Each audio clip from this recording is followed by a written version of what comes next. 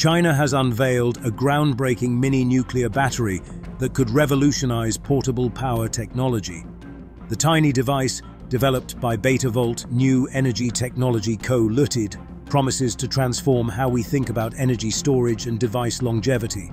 According to Zhang Wei, CEO of Betavolt, this battery represents a significant leap in sustainable power generation.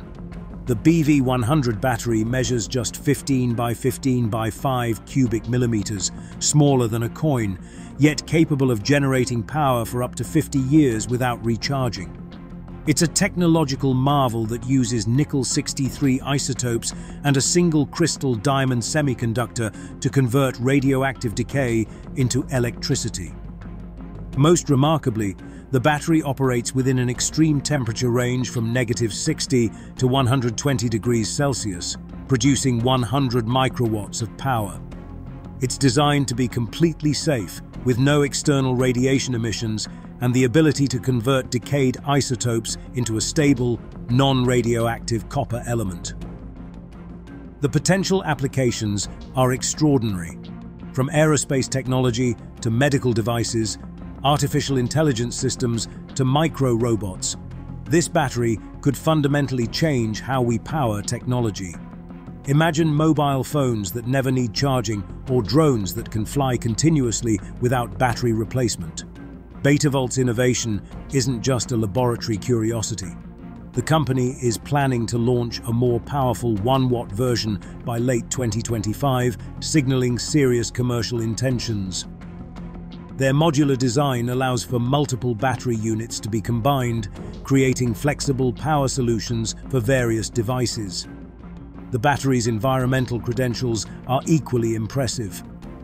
Unlike traditional battery technologies, this nuclear-powered alternative produces no harmful waste and operates with minimal environmental impact. It's a testament to China's growing prowess in cutting-edge energy technologies. Experts are already comparing this breakthrough to previous technological revolutions. The battery's ability to provide stable, long-lasting power could transform industries ranging from medical implants to remote sensing equipment. It's not just an incremental improvement, it's a potential game-changer in portable energy. Challenges remain, of course. Regulatory approval, public perception, and scaling up production will be critical hurdles. The nuclear technology, while safe, may still face skepticism from consumers and regulatory bodies. Betavolt will need to navigate these challenges carefully to bring its revolutionary battery to market. International competitors are already taking notice. Companies like City Labs in the United States have been developing similar nuclear battery technologies. But Betavolt's miniaturization and 50-year power guarantee set a new standard. This isn't just a Chinese innovation, it's a global technological breakthrough. The broader context is equally fascinating. This development aligns with China's strategic focus on technological innovation, as outlined in its 14th five-year plan. It represents a significant step in the country's ambition to become a world leader in advanced technologies.